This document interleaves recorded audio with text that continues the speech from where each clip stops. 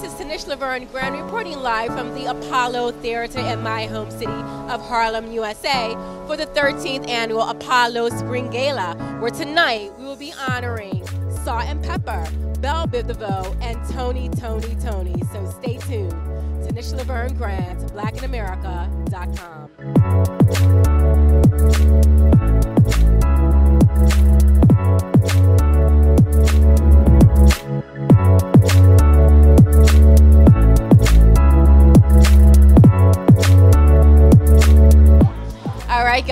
Tanisha Laverne Grant back again for blackinamerica.com at the 13th annual Apollo Spring Gala, where we are paying tribute to the 90s.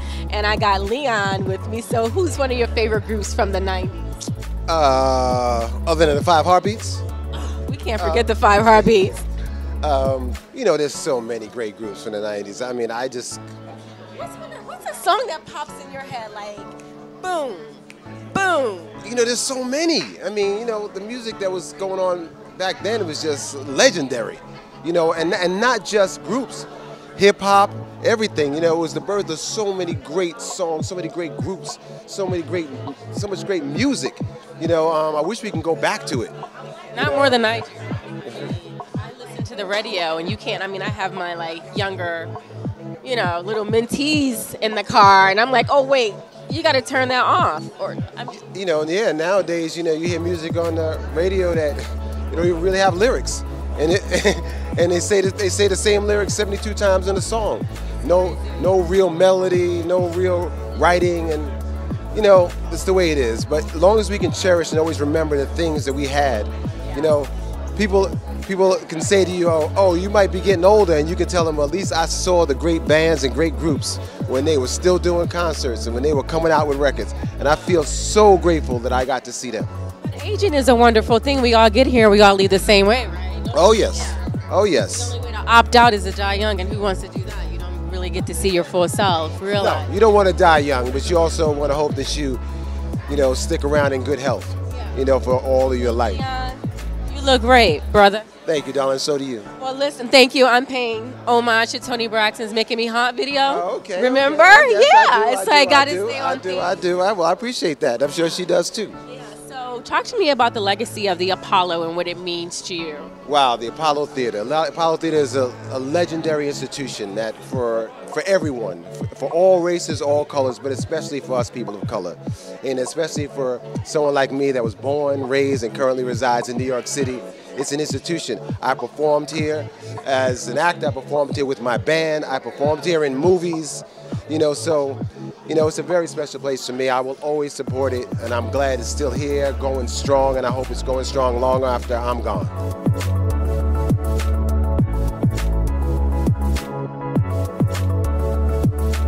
Miss Kamilah Forbes, who is the executive producer of the Apollo. Thank you. Thank you. It gets better and better every year. Oh, that's so good to hear that. No, we're really excited about this year. You know, again, it's sort of a culmination of our season. It's an opportunity to celebrate, let our hair down literally a little bit after all the hard work. Everybody's talking about it. I was at Mac at 59th Street, Columbus yeah. Circle, getting yeah. some lashes put on, yeah. and there were like four women getting their makeup done. No kidding. And we were all like, oh, where, where are you going to? They were like, oh, the Apollo Spring Gala the place to be. I love it. You know, and it's, it's, beautiful that you know we have this sort of inflection point in the city where people can celebrate the Apollo, where we can celebrate the Apollo. We celebrate our legacy, and this year in particular, really kind of focusing on a little '90s flair. So, I mean, with the folks we got, you know, Tony, Tony, Tony, and BBD, and Salt-N-Pepa, and Brandy. Oh, Brandy's here. Oh, Deborah Dance coming through. You guys, this carpet is so lit. I can't even contain myself. That's exciting, yeah. So how long does it take to put the gala together? This is like a, a year-long process I mean, for you guys? We're constantly working on it throughout the year because, you know, as you know, it's one of our biggest fundraisers. So our development team is constantly cultivating for the gala. People don't know that. They think, oh, a gala, yeah. Yeah, no. No, this is production. It's a production, you know. It takes a while not only to get the show together, but really it's about raising funds for our institution. And, uh, and our development team does such an amazing job of raising a, a great deal of money to keep our programs going. What do you want young people to understand about the Apollo? Because a lot of times with the younger the younger generation, they're like, oh, the Apollo, that's old school. Yeah, you know, yeah. nobody's checking Yeah. for that. It's like we have to keep That's right. these legacies intact. So, what would you like to say to young people? It is a leg- it is a the Apollo is a legacy institution, but but it's also an institution that's moving forward, right? We are a home for today's next legends of tomorrow. And, and that's who we want to be. So with programmings that we've done, like for instance, we presented Legacy this year, doing a tribute to Nina Simone. Um, we had a wonderful piece this season by Tanaha that we adapted Ta-Nehisi Coates' book and had Black Thought and Common and Angela Bassett developing new works for tomorrow. That's what we want the Apollo to be. Have the legendary Dapper Dan come through. I mean, you are truly an unrepeatable event, sir. Thank you so much. I'm so happy to be here.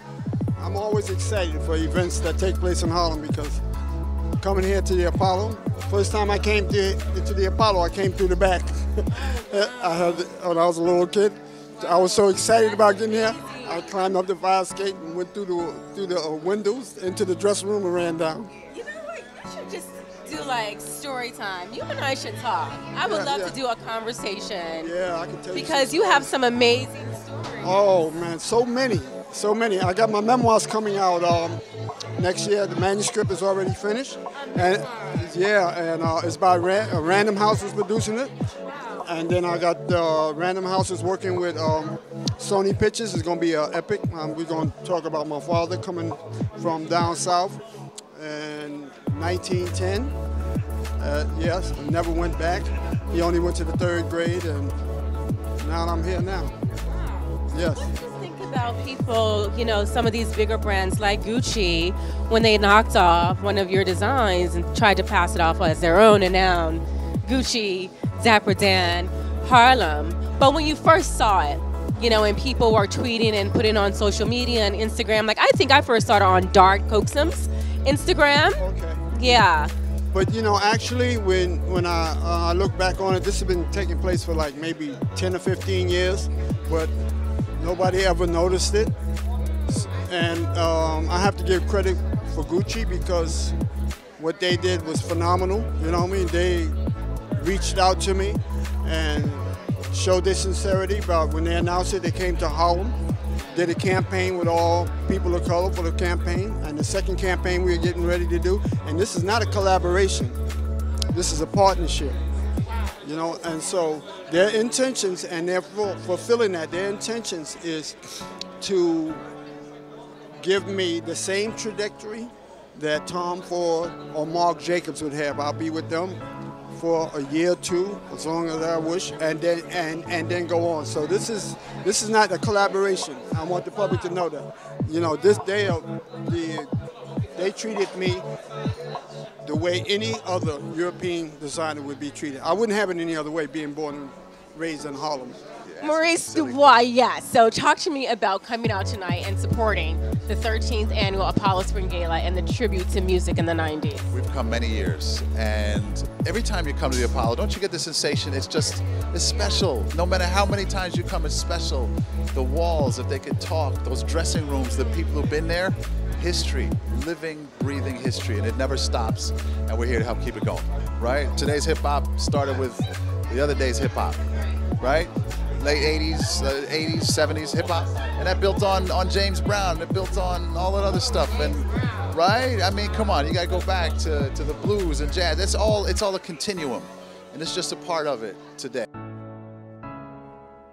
I remember the first time I was on the stage for an event, What? and I was shocked. I haven't been on the stage. No. Wait till the show's over and just run up on the stage.